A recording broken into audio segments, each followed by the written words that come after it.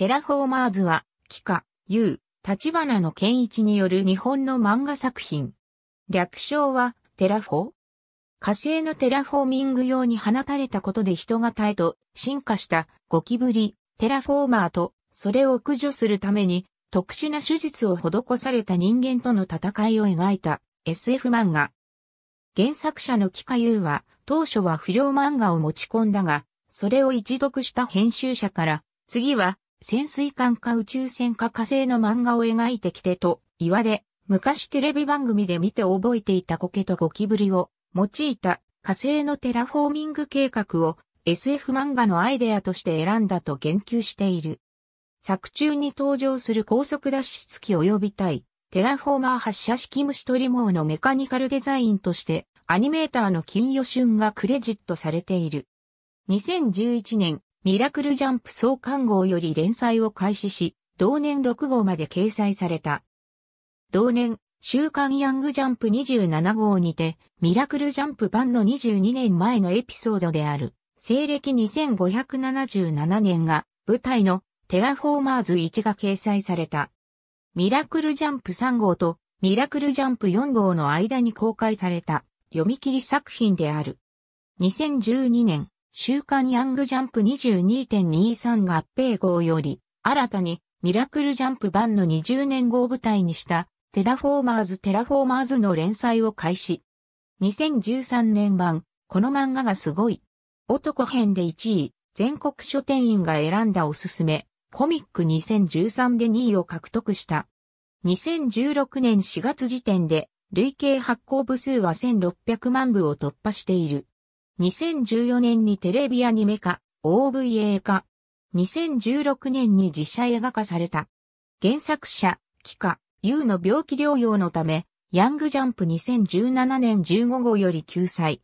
2018年4月26日発売の21.22合併号より連載再開された。その後、41号から49号にかけても、機下の体調不良により救済。50号より連載再開されたが、52号での掲載をもって、しばらく救済することが発表された。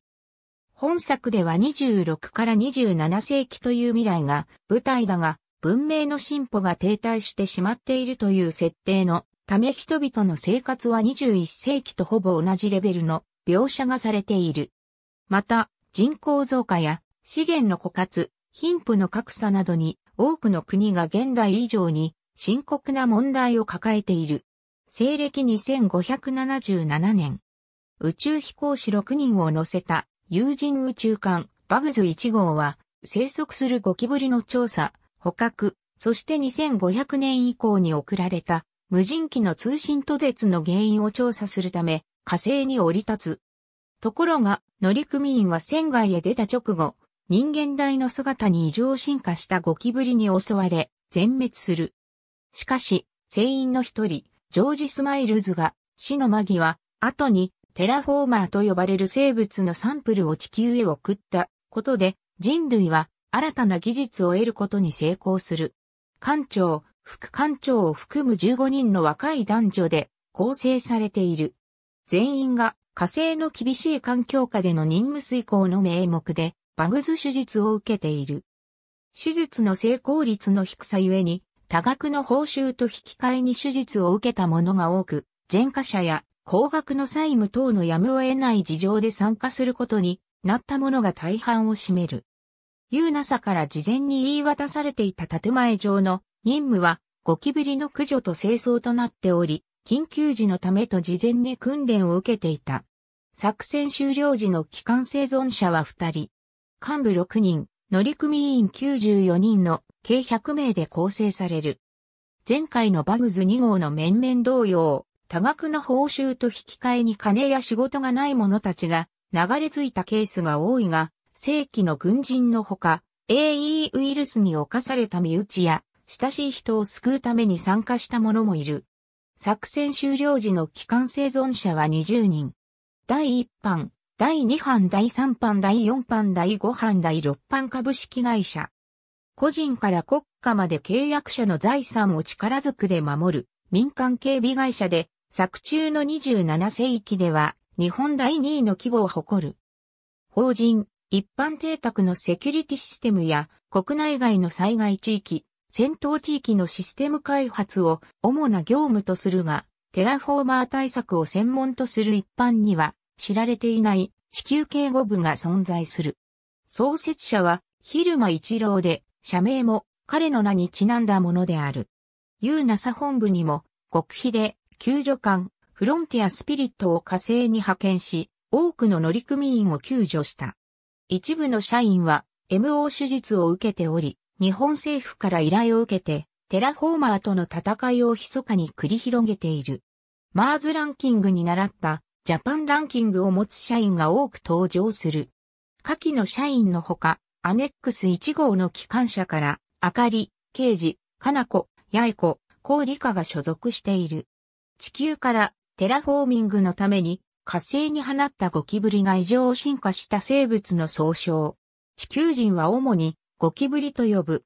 約2メートル以上の体長に筋骨隆々の体格、頭部から首の後ろにかけて生えたパンチパーマ状の頭髪という外見をしている。外見のデザインは絶滅した原人等を造形の参考にして描かれている。通覚こそないが、体内構造は人間に近く、脊椎を有志脳の形状や眼球も人間そっくりになっており、ゴキブリの形態的要素は甲側、鬼門、触覚、オバ、羽くらいしか残されていない。人間に近い姿をしているものの、人間と異なりオスとメスの外見上の際は、ほぼない。妖精も存在し、体長は、成虫の腰の高さほどとなっている。腕力が高く、薬で変身した乗組員も、無防備ならば、素手で簡単に破壊される。体も強靭で、熱に強く、多糖類アミロースでできた、甲側を全身の鬼門から入る酸素で直に燃焼させることで爆発的な運動量を得ているが、生命活動に必要な酸素は肺呼吸で得ている。体のコントロールは胸部の食道下神経節、胸部神経節に委ねられているため、呼吸及び胸部の器官が無事ならば、首が切断されても活動できることがある。逆に言えば、喉を潰すか胸部を破壊することで活動を止められる。普段は、上、地上、常時、上場といった音声でコミュニケーションをとる。なお、この言葉の起源は、バグズ1号の陸民員、ジョージ・スマイルズのことで、彼が名前を呼ばれているところを覚えて、以後使用されるようになった。品種の際は、ギー、ギーとなく、脳も進化しており、知性を持っている。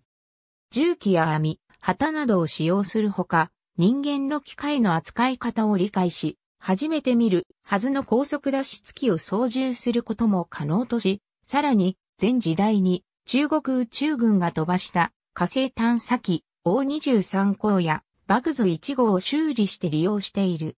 なお、多くの個体が持っている石器製の棍棒は武器ではなく岩についた苔をそぎ取り食べるための食具である。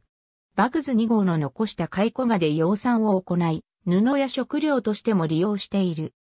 2620年には組織化が進んでおり、階級や役割のようなものを与えられた個体が存在し、体に装飾具や衣装を身につけた個体がテラフォーマーの部隊を統率している。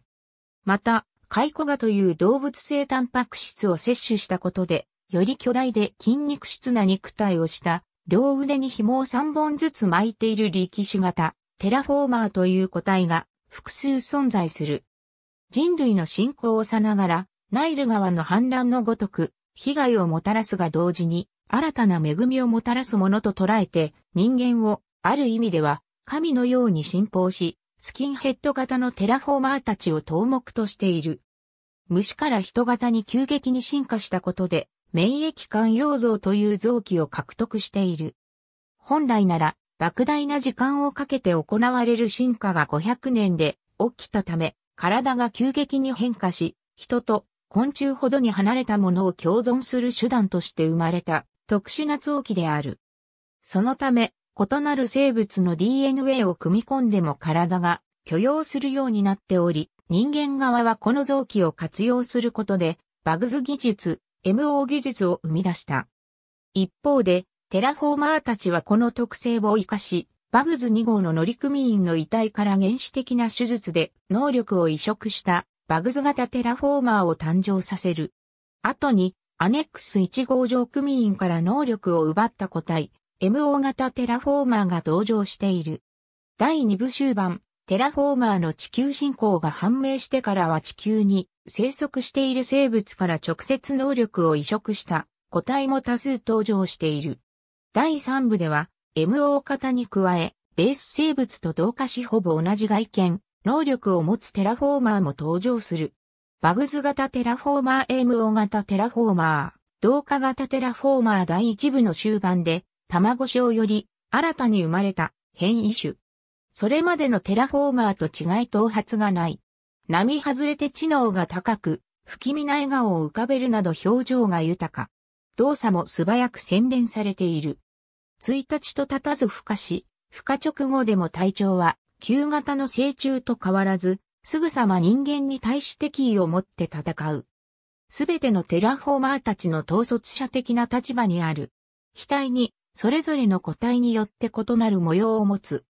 統率者的個体が死亡すると、新たに進化したスキンヘッド型が誕生する。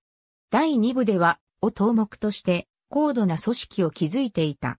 死亡してもすぐに新たに生まれてくるわけではないが、代替わりして何匹か登場している。本編の登場人物の火星に来る前のエピソードを題材にした作品。2014年から OVA とテレビアニメの2メディアで展開。なお、このアニメ版では作品に英題名をテレフォーマースとしている。ナレーションは石井康次が担当する。単行本一巻にあたるバグズ2号編が前後編の OVA として制作され、2014年8月20日発売の単行本10巻 OVA 同梱版に前編00から01 THE ENCOUNTER 基地との遭遇が11月発売の単行本11巻 OVA 同梱版に後編00から02 UNDEFEATED 敗れざる者たちが同梱された。単行本2巻以降にあたるアネックス1号編をテレビアニメとして2014年9月より12月まで、東京 MX、朝日、放送、CBC テレビ、テレ朝チャンネル1、BS11 にて放送された。